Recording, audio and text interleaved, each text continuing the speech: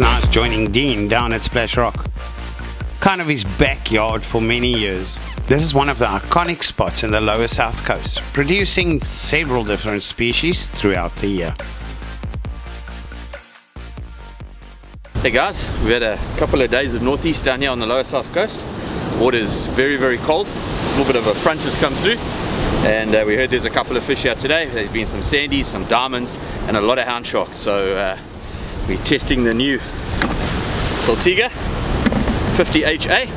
What a lovely reel. I'm gonna try and throw 150 meters and slide a big mackerel. I chose my 15 foot grind elite paired with the 8000 saltist for the day. We arrived a bit later and quite keen to get some baits in the water and see if we can join in the action.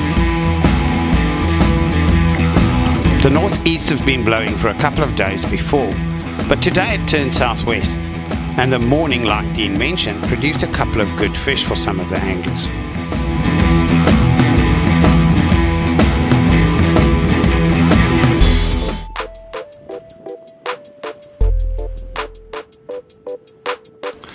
We noticed a whole bunch of bait shoals coming past every now and again, and some even in casting distance. Dean was quick to rig up with some usuris to try and get some of them on the hook. Earlier that morning, some of the other anglers a bit further down managed to get some mackerel and some bonito off the side. They definitely had an advantage to us having fresh bait like that in the water. The first few hours started off very slow and we were hoping that it would pick up as it got a bit later in the day. A lot of these deep water points can be treacherous and you need to know your footing like Dean clearly does on Splash Rock as well.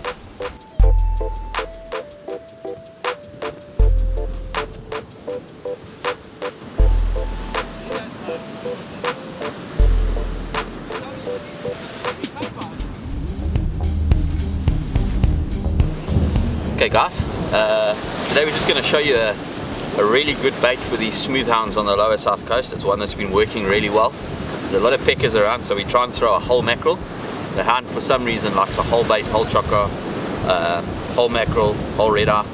So there we got a beautiful Natal mackerel from the Kingfisher. What I've got here is a dangle made out of Dacron and then obviously a little wire ring that we're going to clip our sinker to so that we can throw as far as we can to a little single swivel. Make sure your mackerel's pretty frozen. You want that bait to be nice and straight. All I'm going to do is just nip the tail off. Throw that away. Make sure that mackerel's nice and straight. Just going to measure here. That's almost perfect. And I've got a dingle dangle tool just going to work my way all the way through the mackerel. Be very careful here because often if you push too hard you'll push that dangle through and push it into your hand. One way of spoiling your angling outing. I'm going to come out at the mouth like that. There we go. Come back through again. And then what I'm going to do hold it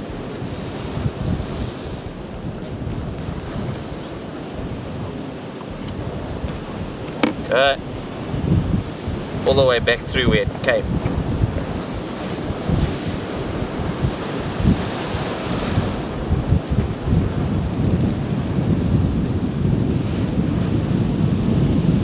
okay until we get to the top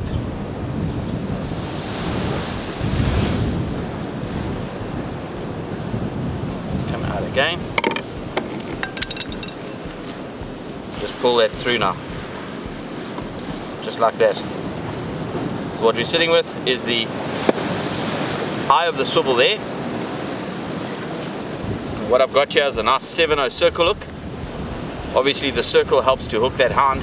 They can eat really shyly and the circle seriously increases your hookup rate. And what I'm going to do is go through there like that, through the eye of the swivel, what that does is that keep that keeps that bait in place. Okay. Through the eye of the swivel. That. Just put it there, out, there we go. And then back through the, the head of the mackerel. Okay. Pull that tight. Just like that. Now what you can do is you can just take a couple of winds of cotton. You want to wind it very neatly up.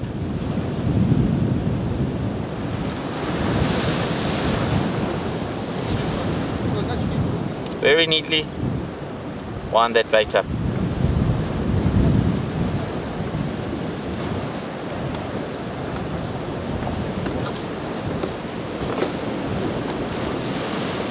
Don't wind on the eyes.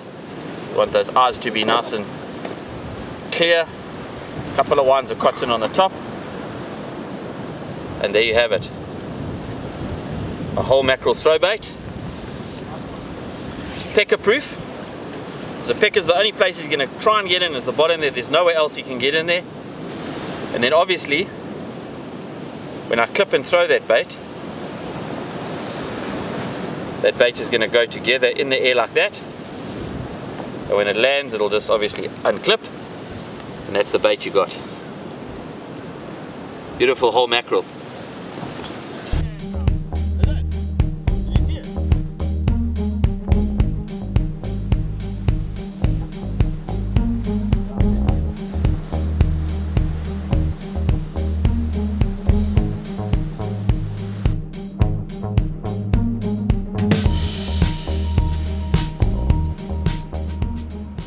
Dean was the first to get some interest on his bait.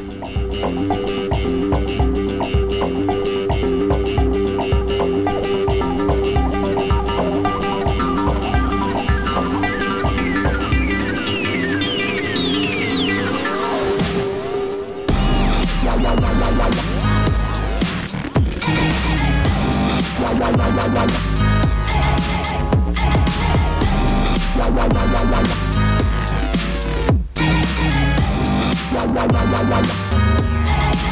we go, little sandy. And look how smooth that new Daiwa Saltiga's drag is. Can't even hear it. Check that. Look how smooth that is. Quite strange, the sandies have been eating on the second day of the west on the south coast, which is not normal, but it's been happening quite a couple of times now. maybe it's a new pattern they're following.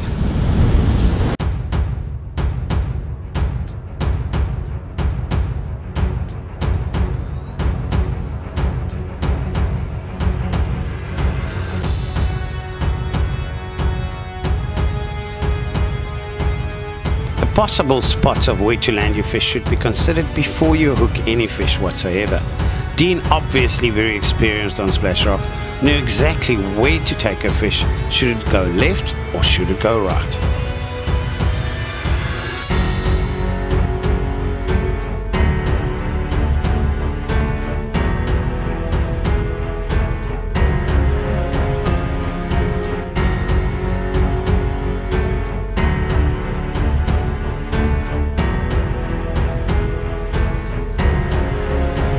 Joshua, also very competent on Splash Rock, was quick to go fetch Dean's fish.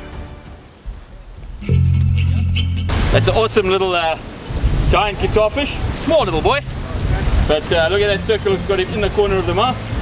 And uh, let's get the hook out, get a quick pick and put him back. Nice way to test the new Daiwa Saltiga 50 HA. What a beautiful reel.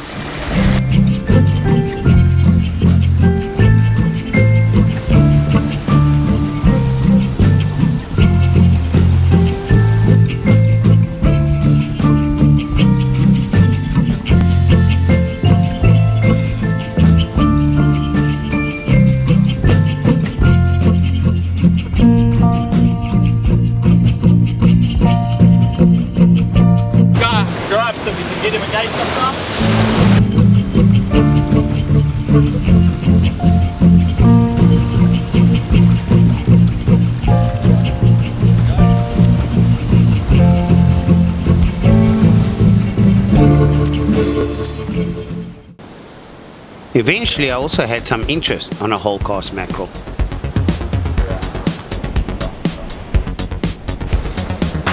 Initially it got stuck and I suspected it could be a rock cod that wedged itself into the rocks. But the Grinder Elite made light work of wedging it out again. Now with rockcod, the best way is to get them up to the surface as quick as possible and bring them in as quick as possible because they will just shoot right down again to wedge itself in the rocks.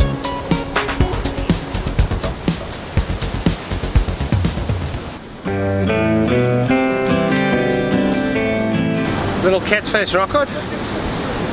Nothing wrong. And again the circle got him in the corner here. Nice little catch face. Not a big one, they come big yeah? Get some nice ones.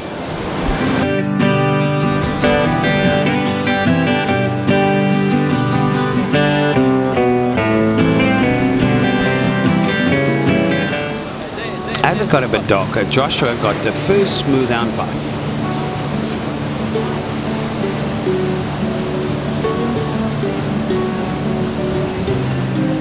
Unfortunately, it quickly pulled the whole mackerel off his dangle. A bit of a slow afternoon as was expected with the weather.